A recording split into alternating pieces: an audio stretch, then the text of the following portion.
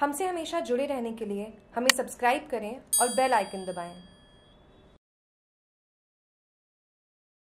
तेईस सौ कन्याओं का सामूहिक पूजन।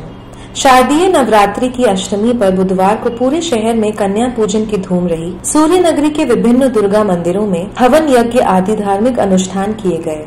साथ ही घरों में भी हवन के बाद बालिकाओं का देवी रूप में पूजन किया गया। इसी कड़ी में सेवा भारती समिति की ओर से पंद्रवा सामूहिक कन्या पूजन सिवाची गेट स्थित महेश सीनियर सेकेंडरी स्कूल परिसर में आयोजित किया गया। सेवा भारती समिति के संयोजक शक्ति सिंह गहलोत ने बताया कि संतों के सानिध्य में कन्या पूजन किया गया। इस अवसर पर साठ जगहों से कुल तेईस सौ बालिकाओं का पूजन हुआ।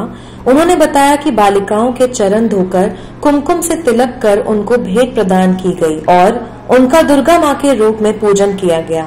इस अवसर पर सोनाचार्य अचलानंद गिरी महाराज, संत हरि राम शास्त्री महाराज अमृता राम महाराज सहित शहर के गणमान्य लोगों ने भाग लेकर कन्या पूजन किया। जोधपुर से जागरूक टीवी की रिपोर्ट।